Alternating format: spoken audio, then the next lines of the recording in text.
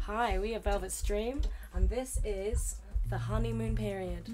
One, two, two, one, two, three. Well, I think about you a lot, but it's just not the same.